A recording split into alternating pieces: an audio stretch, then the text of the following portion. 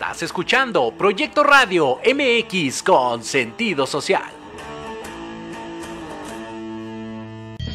Las opiniones vertidas en este programa son exclusiva responsabilidad de quienes las emiten y no representan necesariamente el pensamiento ni la línea editorial de esta emisora. Hola, bienvenidos a nuestro programa de radio, Sana sin medicamento. ¿Te has preguntado alguna vez de dónde viene tu problema de salud, dinero o amor? Quédate con nosotros y aquí conocerás esas respuestas. Nosotros somos Gishi, terapias alternativas para mejorar tu vida. Comenzamos.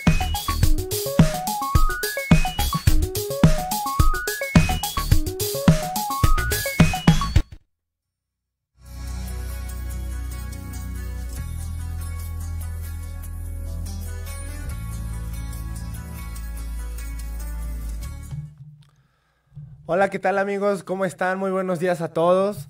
Tardes ya, más bien. Ya estamos 12, 12, 12 del mediodía. Ya comenzando este programa totalmente en vivo, como ustedes pueden, lo pueden ver. Ya estamos a finales del primer, primer mes del año. Ya se nos fue. Ya se está acabando, ya se viene y está iniciando el mes del amor.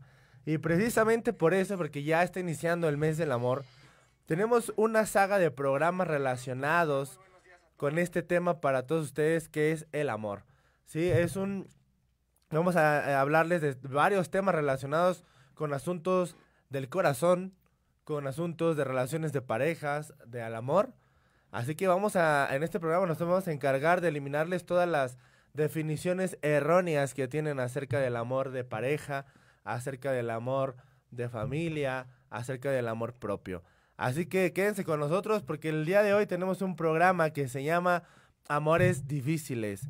Así es, amigos, Amores Difíciles. Creo que muchos de nosotros hemos escuchado hablar de esto o incluso hemos pasado por ahí, por ese amor difícil, ese amor que, que nada más no, no se puede, ese amor que hace que, que te duele el pechito cada vez que te acuerdas, ese amor que, de plano sí te fue muy mal en esa relación, ese amor que de plano no puedes olvidar, o ese amor que de plano no te deja en paz, a lo mejor ya lo olvidaste, pero ese amor que no te deja en paz, ¿sí?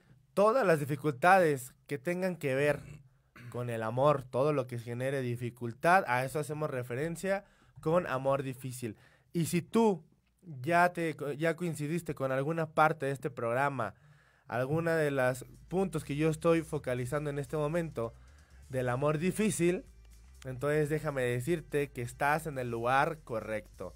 Porque el día de hoy vamos a hablar acerca de todo ello, vamos a aclarar todas esas definiciones erróneas que tienes acerca del amor, qué sí se debe de hacer, qué no.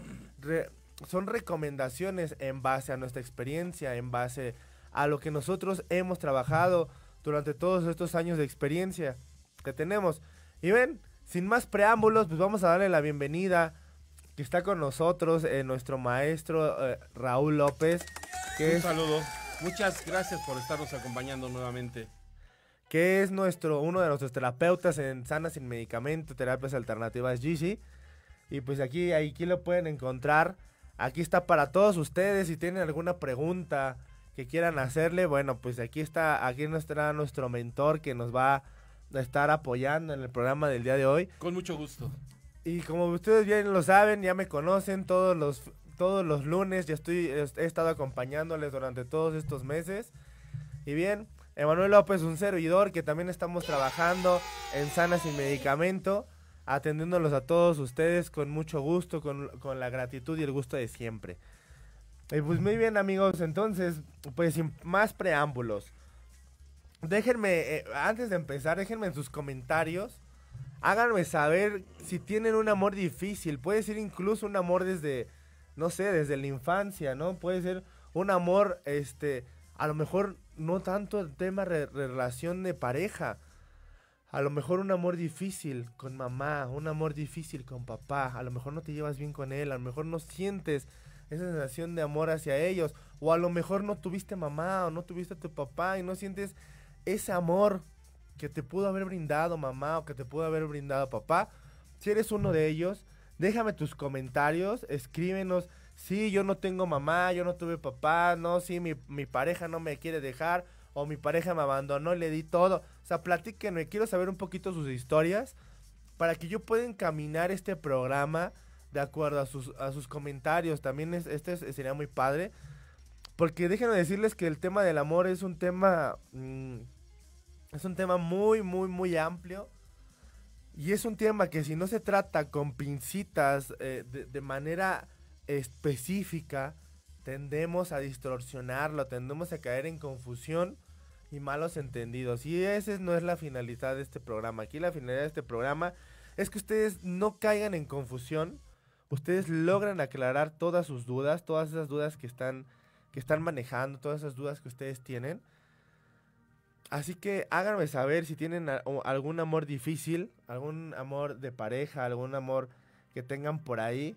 O lo pueden estar viviendo ahora, en este momento. O lo pueden estar viviendo con tu ahora. pareja, eh, con tu, en tu matrimonio, con tus hijos. O tal vez de plano, o tal vez de plano seas de esas personas que digan, no, a mí no se me da el amor.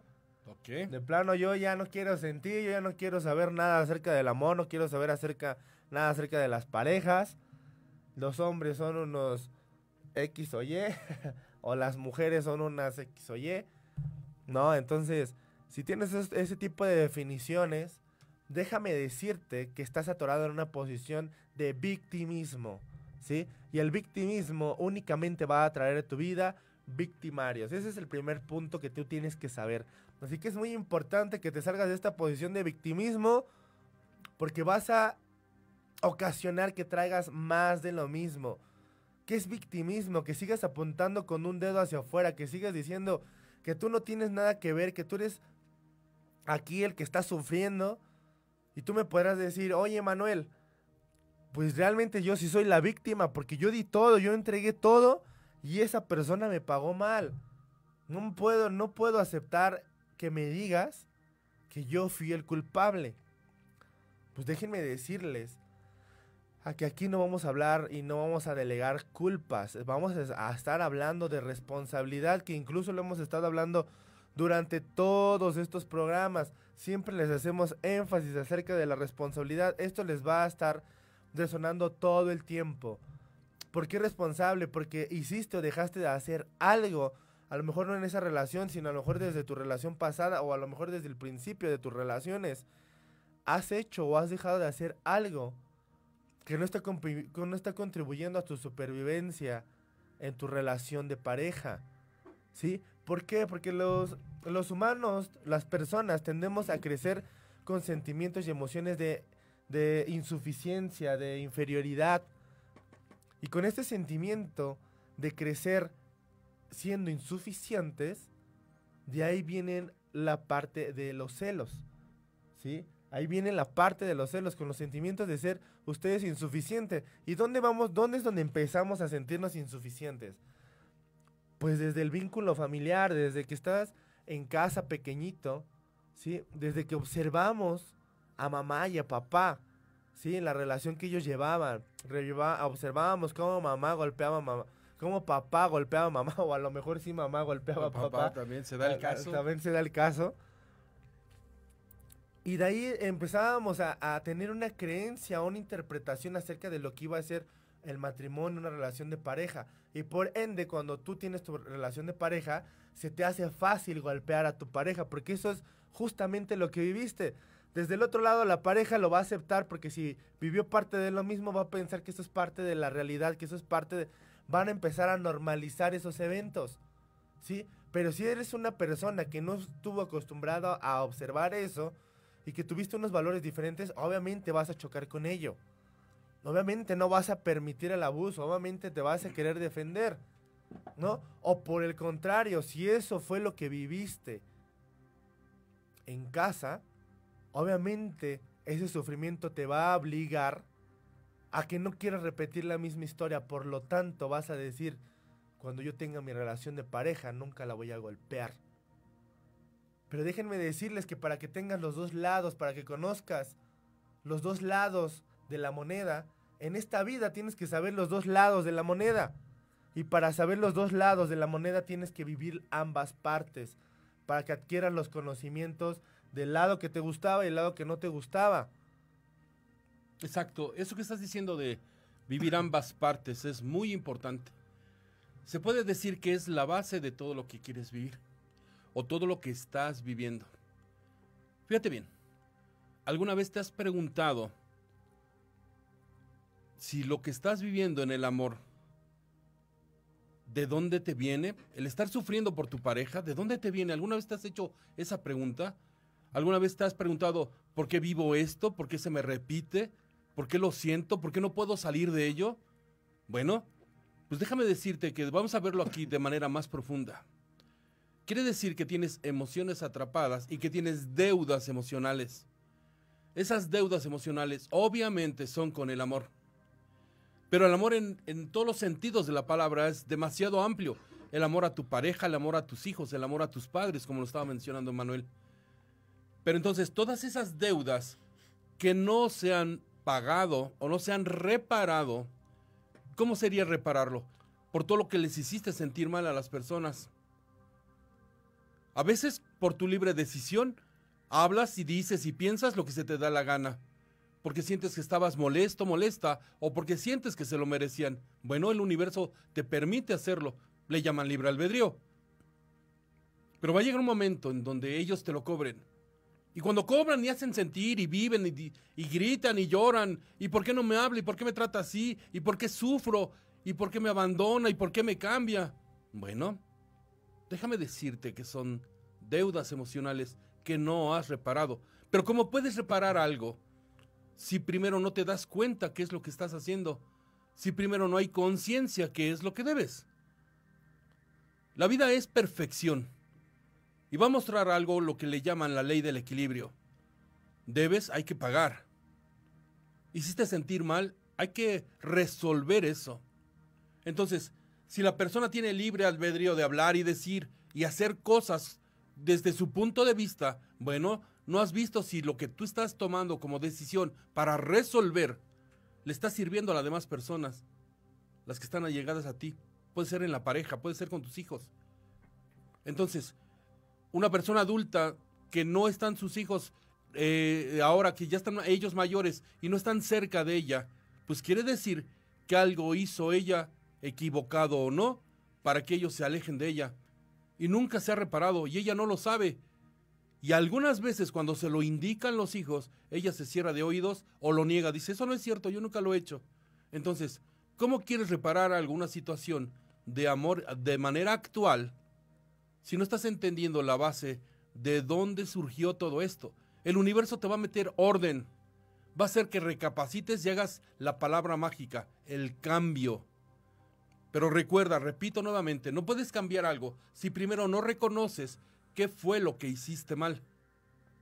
Entonces, estas partes de los eh, puntos que está mencionando Emanuel son las claves para ir descubriendo qué parte de ti estás haciendo mal en relación a los demás que pudiera estarte atrayendo ahora el sufrimiento y dolor del cual estás quejándote o al cual vienes arrastrando de demasiado tiempo.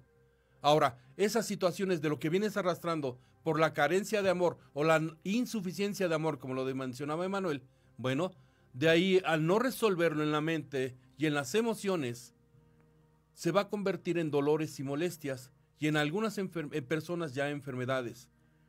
Ahora sí vas a descubrir de dónde viene tu problema en la espalda, tus dolores de espalda, tus problemas con la digestión, de problemas de colitis o estreñimiento, tus problemas de dolores de cabeza, entonces tienen una raíz emocional antes de ser física.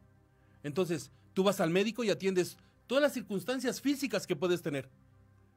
Pero la raíz que es una raíz emocional, y en este caso relacionada con el amor, sí, no lo estás resolviendo. Entonces, vamos a seguir poniendo atención en todos los puntos que Manuel nos va a estar marcando para que descubras de dónde viene tu posible falla o las cosas que no estás cambiando. Exactamente amigos, pues como, como bien lo estamos comentando, estos sentimientos de, ustedes sentirse eh, eh, insuficientes vinieron, tienen que saber que vinieron ustedes o su pareja, vinieron de un núcleo familiar donde lo observaron desde esa manera. ¿Sí? De, de, no ser y no sentirte lo suficientemente bueno. ¿Y cómo podemos verlo desde familia? cuando papá o cuando mamá no confiaba en tus habilidades. Cuando te comparaba mamá o papá. Así que aguas ahí, mamá o papá, si me estás escuchando. ¿Sí? Tienes a tu hijo. No lo compares con los demás. Al contrario, tú ofrécele toda tu comprensión, ofrécele todo tu apoyo, toda tu fe y toda tu confianza. ¿Sí? Ofréceselo para que él crea, crezca con esos sentimientos de ser lo suficientemente bueno, no lo no, lo, no ser insuficiente, no ser lo, lo insuficientemente no bueno. Entonces, desde ahí creció esta parte, desde observar a papá cómo, cómo fracasaba en los negocios que, eh, pretendía emprender, donde le iba mal en el trabajo, donde decía a mí siempre me va mal, donde observaba el hijo cómo papá desconfiaba de todo mundo, cómo no creía en nadie. Y el hijo empezó a crecer con la idea de que no debemos de confiar en nadie, no debemos de depositar nuestra fe y confianza en nadie. Y tú creces si te encuentras a alguien similar, imagínense el círculo vicioso en el que se están metiendo, porque se le van a pasar el uno al otro no confiando en sí mismos y ambos constantemente se van a estar hostigando y hostigando y hostigando y hostigando. Ah, pero se van a quejar de que, ¿por qué me tocan estas relaciones? Pues si yo soy bien bueno, pues si yo soy bien trabajador. Claro, van a hablar acerca de sus virtudes, de sus cualidades, pero nunca te vas a dar cuenta de tus defectos. Y esos defectos viene la pareja a demostrártelos, te los va a enseñar, te los va a poner enfrente. Y te vas a dar cuenta que los tienes que trabajar porque la regla de oro es lo que me choca, me checa. Si me está molestando lo que está haciendo la otra persona, tienes que empezar a ver de qué manera lo estás haciendo tú. Y aquí es donde entra la ley del karma. Pero ¿qué les parece si regresando de este, de este pequeño bloque nos vamos a ir rápidamente a unos pequeños comerciales y regresando vamos a hablarle de cómo funciona la ley del karma en esta parte de su vida, ¿sí? llamada amor. Así que quédense con nosotros, regresamos rápidamente, no nos tardamos. Pronto, pronto.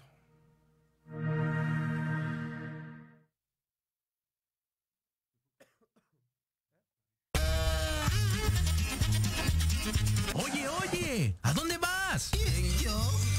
Vamos a un corte rapidísimo y regresamos. Se va a poner interesante. Quédate en casa y escucha la programación de Proyecto Radio MX con sentido social. ¡Uh, la, la chulada!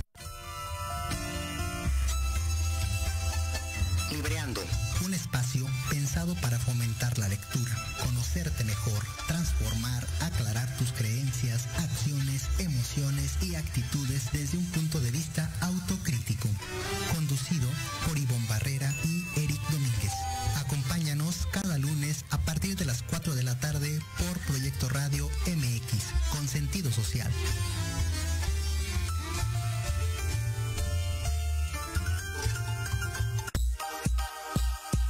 Para vivir en un mejor lugar,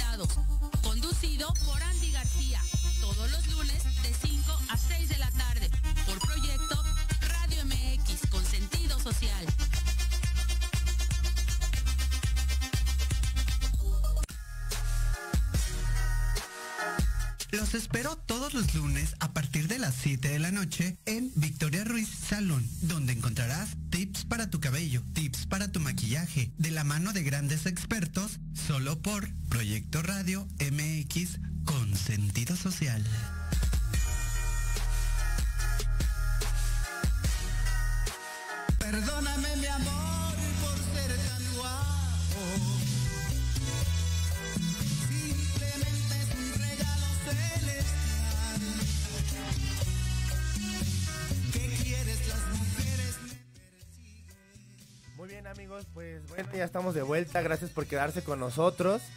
Y bueno, les estamos hablando acerca, acerca de cómo, cómo entra aquí la parte del karma en sus relaciones de pareja. ustedes van a estar observando que el karma va a estar participando prácticamente en todo. ¿Por qué el karma practic- eh, participa prácticamente en todo? Bueno, pues simple y sencillamente porque es el mediador de la vida. Si tú no, so- si tú no conoces cómo funciona el karma en tu vida, déjame decirte que vas a perder siempre. Siempre te la vas a pasar pensando por qué te sucede siempre a ti, siempre te, la vas a pasar victimizándote, sufriendo, viviendo del dolor, viviendo del pasado. Así que yo te recomiendo que aprendas cómo funciona el karma en tu vida. Que de hecho hemos tenido programas anteriores de cómo funciona el karma en tu vida. Ustedes los pueden buscar en Sanas y Medicamentos y directamente desde Facebook, en, programas pasados, o un poquito más específicamente en YouTube va a ser un poquito más fácil. Cómo funciona el karma en tu vida. Sanas en medicamento, sanas sin medicamento, cómo funciona el karma en tu vida, y ahí van a poder saber. Ahí tenemos un video donde hablamos de cómo funciona el karma y por qué tiene esta relación directamente, en este caso, hablando del amor. Ahora, en el caso de lo que estabas mencionando, de los padres, ¿cómo fue tu relación con tus padres de niño? Donde los padres no podrían apreciar o darse cuenta de determinadas acciones y virtudes que pudieran tener los hijos que los padres no están viendo y, y viceversa. Los hijos no están viendo el propósito y actitudes que los padres están teniendo en relación a ellos, porque ellos como me- menores pueden tener a veces un malentendido y no comprenden la manera en que mamá y papá los están tratando. Bueno, esas raíces, déjame decirte que tienen que ver ahora con la pareja que tienes. Son las cosas que no has saldado, las cosas que no has comprendido. Y al no comprenderlas, el universo lo que va a hacer para tu mejoría, tu evolución, es repetírtelas. Una vez que las repites, ¿sí? Entonces se supone que es donde vas a entender de dónde viene la raíz de la situación que estás viviendo con tu pareja actualmente. Donde no comprendes por qué te, estás te está haciendo vivir algo que no te gustaba de niño o de niña. Donde se está comportando como quizás como papá era o como mamá era. ¿Vale? Exactamente. Entonces, precisamente por ello, estamos hablando que el karma te va a mostrar espejos, donde te vas a dar cuenta que es un espejo porque te va a molestar su actitud. Vamos a, pon- vamos a comenzar con la parte práctica, ¿sí? Eh, en la ley de karma también nos habla de que eh, ya, ya está hecha a base de muchas leyes universales que también entran como características para que tú te puedas cachar, ¿sí? Como la, la ley de opuestos o la ley de polaridad, donde dice que, que contrarios se atraen, ¿no? Entonces, aquí no quiero que entren en un punto de confusión, porque obviamente estamos hablando de las relaciones y sabemos que las similitudes entre tus parejas siempre van a ser atractivas para ti. Cuando te encuentras una persona que tenga gustos similares a los tuyos, evi- evidentemente va a ser atractiva hacia tu persona. Pero esto nada más va a ser atractivo en el área de valores. Sí, todavía van a faltar otras áreas, pero no vamos a todavía tocar esos temas. Nada más quiero hacer, eh, eh, marcar la, eh, la, la diferencia. ¿Sí? Entonces, poniendo el ejemplo, supongamos que hay una persona que, que es muy, muy puntual. ¿Sí? Le gusta llegar muy puntual a todas partes. Y la puntualidad le ha funcionado muchísimo en su vida porque ha alcanzado el éxito, el ser puntual en sus metas, no solamente hablar, ah, no solamente la puntualidad, no solamente habla del tiempo, habla también incluso que si tienes un propósito, objetivo, sueño, meta, ser puntual en esa meta y cumplirla, ¿sí? También a eso habla acerca de la puntualidad, el cumplimiento y el, desarrollo de, de- de lo que tú te propongas hacer, ¿sí? Pero supongamos que esta persona es tan estricta en este tema de la puntualidad, ¿sí? Que ustedes tienen que saber que la vida es un equilibrio, que ustedes me podrán decir, la puntualidad es una buena característica, que suma, que aporta, claro, pero estamos en un mundo de dualidad y en este mundo de dualidad tiene que haber equilibrio. Exceso de exceso también es un desequilibrio, ¿sí? Y ella lo lleva, esta persona lo lleva a un extremo, esa parte de la puntualidad, donde comienza a chocar con todo mundo, ¿sí? Todo mundo le parece inepto, todo mundo, con todo mundo le, empieza a, a manifestar su molestia acerca del tiempo, ¿sí? Y lo que va a pasar es que casualmente, casualmente se va a encontrar a la persona más impuntual del mundo. Sí, se va a encontrar a la persona más impuntual del mundo. Y si no es la persona más impuntual del mundo, a esa persona va a ser la persona con miles de excusas. Sí, miles de excusas de que se le descompuso el carro, se le ponchó una llanta, lo, lo detuvieron, agarró la manifestación, un embotellamiento. Sí, estás vibrando el desacuerdo y lo vas a traer para que aprendas a amarlo. Exactamente. Tiene que ver con lo que estamos hablando, las reglas del amor. Si hay una parte de ti que no amas, eh, porque amor no es únicamente a tu familia o tu pareja o tus padres, amor es en el amplio sentido de la palabra, ¿sí? Entonces, la clave es amarlo todo, porque cada cosa que no ames, la vida te lo va a repetir para que aprendas a amarlo. Voy a poner un ejemplo. Las personas en el matrimonio, cuando van a casarse, cuando deciden casarse o ya se acaban de casar, hacen un acuerdo de que van a prometer decirse todo y que no haya secretos entre ellos. Y secretos del pasado también. O sea, a partir del matrimonio no hay existir secretos y secretos en el pasado. Y también, bueno, déjenme decirle que esa es una falla. Y voy a decir por qué y explicar por qué.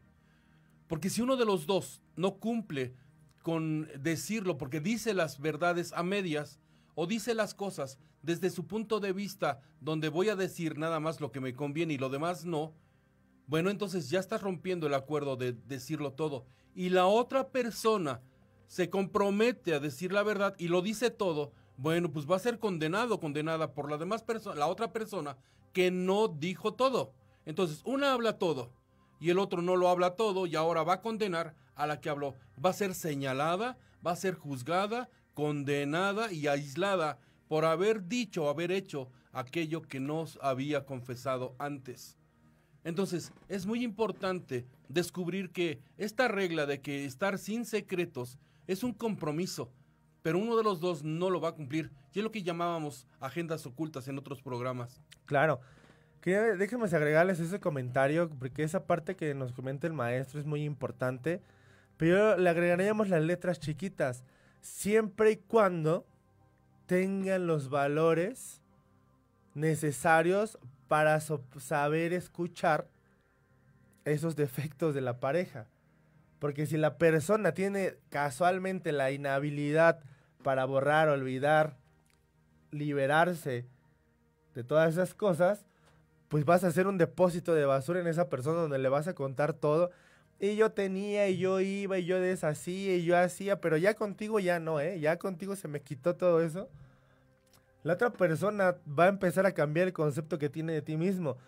Y el segundo punto, el segundo valor es que si esa persona es una persona, y digo, ¿quién no en este mundo se la pasa juzgando y enjuiciando a otros o lo que ve?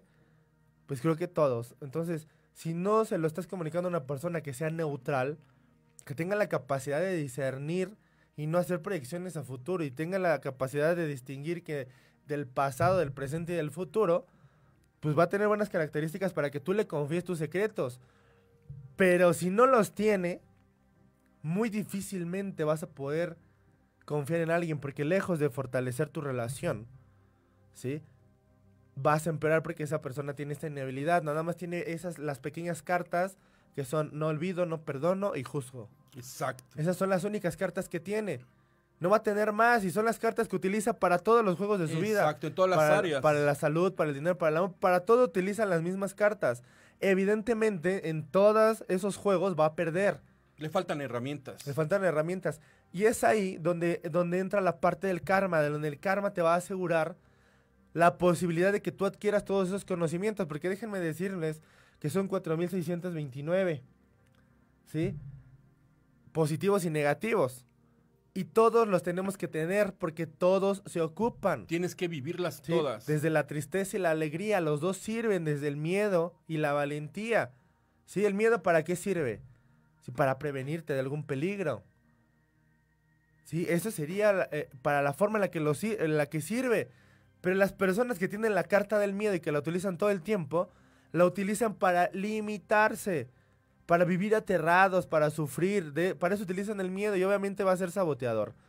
Pero, y si a esa persona, si tú le agregas la carta de la valentía, pues vas a saber discernir entre el miedo y la valentía, entre ser audaz, entre aventarse, entre emprender, entre tener una nueva pareja, una nueva relación, un nuevo proyecto. Ahora, Ajá. estas emociones, como lo está diciendo bien Emanuel, son más de cuatro mil. Sí, la mitad son dolorosas, la, las otra, la otra mitad son placenteras. Para que existen, la gente o se pone, se enfoca nada más en las placenteras o se enfoca nada más en las dolorosas, como las personas que están deprimidas. Ambas las tendrás que vivir. Ambas tendrás que vivirlas porque son complementarias. Unas le sirven a las otras y las otras a las unas para poder llegar a un propósito original de supervivencia. Sí, entonces quítense el malentendido, las, las parejas que tienen la idea de que me tiene que amar si hace lo que yo pido, si hace lo que yo siento, si me llama, si me compra, si me saca, si me dice palabras, si tiene detalles. Ok, estás viendo el lado bueno del, del matrimonio, de la pareja o del amor, igual en la familia. Si mi hijo me compra, me saca, me dice, me apapacha, me valida. Pero no estás viendo el otro lado, el del amor, el del amor, el dolor. ¿Cuál es el propósito que te esté causando ahora dolor? ¿Cuál? Lo dije hace rato, tu cambio, tu mejoramiento. Y entonces las personas, en este caso, voy a poner un ejemplo, las mujeres, no es por eh, eh, enfocarme nada más en ellas, se enoja porque no le manda mensajes, porque no le llama, porque no actúa, porque no tiene los detalles. Y ellos son menos eh, detallistas en ese punto, se enfocan más en las cosas materiales quizás. Entonces, la clave es que uno, no estés buscando que hable de todo si tú no vas a ser honesto, honesta. Y no estés buscando que el amor entre ustedes sea que te complazca en todo lo que tú necesitas y quieres, de tu pareja, de tus hijos, de tus padres. Exactamente. De hecho, de hecho esta parte, eh, vamos, vamos, eh, las personas, hombres y mujeres, entran en una, en una definición errónea de lo que es el amor, porque se ponen a medir el amor de manera errónea. Pon- se ponen a medir el amor por medio de mensajes, a medir el amor por medio de la- de detalles, por medio de atención. Cuando realmente una verdadera forma para medir el amor, ¿sí? Sería por la cantidad de momentos felices que pasas con tu es pareja. correcto. ¿sí? Si tú ya eres una persona que ya no disfruta estar con tu pareja, que no sonríes, que no te ríes con tu pareja, ¿sí? Entonces déjame decirte que tu relación se está marchitando, se está terminando, se está apagando, se va a ir por la borda, por más que quieras hacer. Ahí sí vas a tener que invertir tiempo. ¿Y qué es el tiempo? Es el tiempo de calidad, no es el tiempo nada más de estar. Sí, es un tiempo de calidad y de cantidad. Si es que estás llevando tu relación al borde, intenta salvarla. Necesitas dedicarle tiempo. Es un condimento especial para el amor. Lo que acaban de mencionar, la risa, el reír. Exactamente, pero si en lugar de agregarle eso, a lo mejor no, no precisamente eh, eh, ese tiempo, a lo mejor de compañía, sino, sino a lo mejor también tiempo de, de entender a la otra persona, tiempo de, de, de saber cuáles son sus gustos, de, de adentrarte en, en cuáles son sus ocupaciones. Sí, no nada más es el tiempo de compartir, es el tiempo de conocer a tu, a tu pareja realmente. Porque parece ser que tú la conocías, o creías conocerla, o suponías conocerla. Pero no es así. Nunca te tomaste el tiempo para averiguar qué era lo que él quería, qué es lo que ella buscaba. Y tienen, en base a esas definiciones contrarias, hay que unificarlas para que no haya choque, no haya conflicto, no haya pelea y no haya separación. Cuando una persona logra hacer bien esto, su relación sale a flote porque ambos se entienden, porque ambos tienen la carta de la comprensión, ¿sí? Y tienen la carta del amor incondicional. Entonces, déjenme decirles que tienen, tienen que hacer acuerdos, tienen que hacer acuerdos entre pareja. No se vale suponer, y eso también va, va mucho, mucho, porque es bien sabido para las, para las damas, ¿sí? Es bien sabido que, que los hombres son más directos y las mujeres indirectas, porque de esta manera así nos han enseñado. La mujer ha- ha- está diseñada para atender las directas que te envía el hombre, a, a que te corteje, y la mujer decide si ese hombre le conviene o si no le conviene, y la labor del hombre es convencerla para hacerle sentir que sí la conviene, que sí le conviene. Entonces es ahí donde empiezan a desarrollarse los hombres como más directos, como más habilidades de comunicación, por eso se vuelven más directos. Y las mujeres un poco más indirectas, porque no tienen esa inhabilidad para comunicarse. Entonces, damas, no se vale que, que ustedes supongan que el hombre tiene que entender lo que ustedes están pensando, porque obviamente no son, no son psíquicos. No son adivinos. De por sí, cuánto estrés y conflicto ya trae cada persona como para que la el hombre piense que va a adivinar lo que ustedes están pensando. un ejemplo, eh, van en el auto y ella le comenta a su pareja, Tiene hambre. oye, ¿tienes hambre? Y él dice, no. Y ella se enoja porque dice, ¿por qué no me llevo a comer? En lugar de decirle ella él que tiene hambre, que vayan a comer algo, le pregunta a él primero si él es el que tiene hambre. Y ella espera que él va a suponer que le está diciendo indirectamente que tiene hambre. Difícil de esto. Exactamente, y eso es una verdad. O sea, he tenido, he tenido a pacientes en consulta donde llegó la mujer quejándose de que el hombre es desatento. Entonces ya lo empieza a juzgar y empieza a decir que su pareja es desatenta. Y cuando empieza a comentar, es que yo tenía hambre y llegamos a la casa y no, no me, no, yo tenía, llegué muy enojada y me dijo que por qué estabas enojada, que siempre traes tus caras. Entonces ahora él va a tener el concepto de que tiene una pareja enojada y que está loca y que es bipolar. Entonces ambos ahora tienen un concepto erróneo del otro porque no se comunicaron. De la forma adecuada. Y porque ella tiene una idea y él tiene otra. Exactamente. Entonces, por eso no se vale suponer, no se vale que ustedes se pongan, incluso los hombres también lo llegan a hacer. Amigos, caballeros, sean caballeros, no se vale que, la, que ustedes supongan que la pareja debió de haberlos apoyado, debió de haberlos acompañado, debió de haber hecho. Hagan acuerdos para que después no estén las culpas. Pero hay algo que acabas de decir importante. Los acuerdos. Pero fíjense bien. Los acuerdos tienen que llevar una base. Y esa base es que tienen que estar por escrito. Una vez tuvieron una discusión, ahora ya se reconciliaron, quieren fum- fumar la pipa de la paz. Bueno, ahora lo nuevo acuerdo para la discusión que tuvieron anterior, hagan, ya están haciendo un nuevo acuerdo, pero háganlo por escrito. Porque hay veces que al decírselo dicen, no, tú no me lo dijiste, o no me lo dijiste de esa forma. Entonces, por escrito, ya no hay quien se pueda evadir el acuerdo que habían generado antes. Ahora, otro punto que es muy importante, que tiene que ver, para que no tengan problemas o conflictos con el amor, es los fracasos. Si tú viviste un fracaso en el pasado, en el amor, ya sea en la familia, con tu pareja, ¿sí? De hoy en adelante te estás moviendo en base al fracaso que tú viviste. Porque tienes la inhabilidad para borrar, eliminar, soltar, liberarte, todo eso. Esas son las cartas que les digo que tienen y Que que, las quieren usar todo el tiempo y que no puede ser así. Entonces es necesario, obviamente, que tengan conocimiento, porque tener pareja, tener familia, ser hijo, ser esposo, ser esposa, etcétera, conlleva conocimiento de la relación, con- conlleva conocimiento de cómo comportarse y cómo reparar daños. Entonces es muy importante que no te muevas con el fracaso que tuviste de la relación anterior y ahora te cuidas y vives siendo como lo que estás mencionando, defendiéndote de lo que viviste antes para poder hacer pagar a la nueva pareja los platos rotos que te rompió la pareja anterior. Exactamente, porque mm, caemos mucho en el victimismo y el victimismo es contestar a me hicieron daño, bueno, entonces me voy a cerrar a no sentir y a partir de este Exacto. momento yo voy a hacer lo mismo, me va a valer la pareja y el que venga y el que venga y la que venga y la que venga y no me importa porque pues yo ya me entregué y si me entrego me va mal, entonces Me da pues, miedo ahora entonces, entrar. Me, me va mal si me entrego, mira, me pago mal, no valoró. Pero, hey, ¿no te diste cuenta que el problema no fue tuyo? El problema es de la otra persona porque no tiene la capacidad de valorar.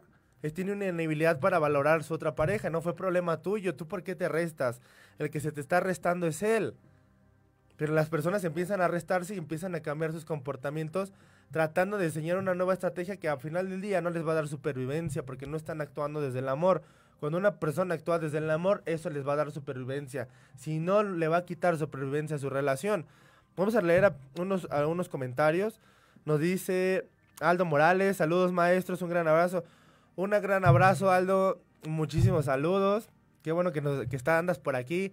Aldo, muchísimas gracias. Saludos a Edgar López, a Rubén Cruz, el Dandibulín, Muy a bien. Ivette Mendoza. Muchas gracias por seguirnos. Muchas gracias por ser fiel. Háganos un favor, recomienden el programa. Mónica, Mónica Huitrón dice, siempre interesantes sus temas, muchas gracias, saludos. Rubén Cruz nos dice, solamente Calimán puede leer el pensamiento. Exactamente, exactamente, solamente los que tienen poderes psíquicos van a poder leer el pensamiento. Así que, amiga, amigo, no pienses que tu pareja va a leer la mente y que va a suponer, no se vale. Este No tema vale. para más. Sí, este tema, obviamente por eso quisimos hacer la saga, la saga de- del amor. Entonces, eh, van a hacer varios programas de aquí hasta el 14 de febrero. Te invito a que tomes nota. Toma nota para que descubras en qué parte del amor estás fallando. Y qué parte donde tú crees que tu pareja o tu familiar está fallando, descubre si no es un espejo tuyo. Exactamente. Es momento que le, que le den la vuelta a la página y digan, ¿sabes qué? Creo que el problema es mío. He tenido muchas parejas con el mismo comportamiento y se me está repite y repite y repite y repite. ¿Sabes qué? Creo que el problema es mío. Y comiencen a ver de qué manera ustedes lo están haciendo. A lo mejor, si ustedes han quejado de infidelidades, y dice, es que a mí siempre me pagan mal y siempre me cambian y siempre es esto. Bueno, pues de acuerdo a tus siete áreas de la vida, observa en qué, en qué área de estas siete eres, has sido infiel. A lo mejor no en tu área de pareja te aplica, pero a lo mejor en tu área profesional sí. A lo mejor te estás siendo infiel porque estás haciendo un trabajo que no te gusta. Estás siendo infiel contigo Estás siendo infiel. por haber escogido o aguantar una pareja que no necesitas. o aguantar exactamente a una pareja que no te aporta, que no te suma, por estar en una zona de confort, por estar con miedo, por no enfrentarte a esos miedos, O por no quererlos escogiste a alguien trabajar. para no quedarte solo o sola. ¿Sí? O escogiste a alguien porque tú buscabas el amor, pero te convenía económicamente. Exactamente. Entonces, es- eh, sería padre que hicieran ese ejercicio. ¿Por qué estoy con mi pareja? Y si su comentario es, pero sin- sincérense con la respuesta, porque realmente muchas personas están con la pareja, independientemente del enamoramiento que, tengan y el, el amor, ¿sí? Están también porque algo les conviene, algo esa persona cubre que ustedes los hace sentir Esa bien. carencia que está ahí. Entonces, si, los- si esa persona está cubriendo una carencia en ustedes, déjame decirle que esa relación tarde o temprano se va a terminar o va a estar yendo en decadencia, no va a mejorar. Hagan ese examen, un autoexamen. Los invito, hagan los comentarios, ll- llámenos. Obviamente ahorita ya se va a acabar el programa, pero esto es una saga, como lo dijo Manuel. Estos eh, programas siguientes lo vamos a hacer con relación al amor. Y califícate. ¿Y qué crees? Te podemos ayudar a que se mejore. Si sacaste un 6 en, en el examen de las preguntas que estamos haciendo, bueno, te podemos ayudar para llevarlo a un 8, a un 9 y tal vez hasta un 10. Exactamente, si tienes un amor difícil, un amor que quieras solucionar, si quieres saber cuál es la lección que tienes que aprender de ello, Exacto. si ya no quieres que se te repita, si ya deseas tener esa relación ideal o encontrar el amor o mejorar tu relación y no sabes cómo hacerlo, bueno, pues acércate con nosotros, que Sana Sin Medicamento precisamente está con las puertas abiertas para todos ustedes, para escucharlos.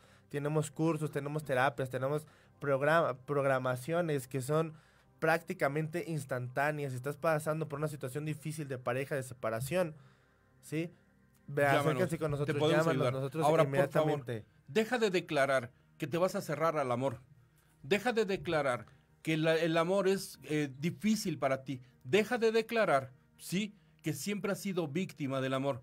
Porque, ¿qué crees? Te lo va a conceder el universo. Y lo único que va a hacer, o te vas a querer consolar con tu madre, con tu padre, ya eres adulto y quieres vivir con ellos, o te vas a que- querer consolar con tu trabajo, o te vas a querer consolar con al- alguna adicción. Porque hiciste malas declaraciones, porque no hiciste el cambio en su momento. Exactamente, entonces es momento que comiencen su camino de ser buenos alumnos, que eleven su conciencia, que eleven su nivel de pensamiento. Es momento de desaprender y volver a aprender. ¿Sale? Y pues bien, bien amigos, estamos llegando prácticamente ya al final de este programa. Les agradecemos muchísimo el habernos sintonizado el día de hoy. Si creen que los conocimientos, los tips que les aportamos el día de hoy les puede ayudar a alguien, al tío, a la tía, al primo, a la, A la prima, vecina, a la, comadre. vecinita, a la amiguita, a la comadre, les puede ayudar en una rela- en, a lo mejor a mejorar su relación o no tiene pareja o sí tiene pareja o le está yendo mal. Si piensen en su familia, no hay mejor regalo para este 14 de febrero que regalar amor y preocupas, pre- qué mejor manera preocupándote, ¿no? Por, por esa persona. Entonces, si quieres tener un lindo detalle con ella, regálales, regálales eh, este, este link, compárteselos, que lo puedan ver. Ya vieron que pasa rapidísimo el tiempo en el que lo pueden ver, no les quitan algunos minutos. Y síganos, síganos en nuestras redes sociales, Sana Sin Medicamento, Facebook, Instagram. Y, eh, y estamos nosotros para servirles. Si quieren alguna consulta con nosotros, dir- escríbanos directamente en la página de Sana Sin Medicamento y con mucho gusto nosotros vamos a estar ahí para atenderles. Y bien, bien más, pues vamos a darle las gracias a nuestro maestro Raúl. Gracias por Muchas estarnos gracias. el día de hoy. Gracias a todos ustedes por habernos sintonizado. Gracias por compartir. Gracias por darle like. Y bueno, los esperamos la siguiente semana en el programa número 2, en el especial de 14 de febrero, relacionado con el amor, con las relaciones de pareja, con amores difíciles, pasándoles tips para todos ustedes, con mucho cariño, con mucho amor para todos ustedes. Y ven, me se despide un servidor, Emanuel López, los espero el siguiente lunes, el punto de las 12 del mediodía. Así que Y recuerden, ama de manera incondicional. Significa amar lo inamable. Si no, te lo van a repetir. Bye. gracias amigos, hasta la próxima.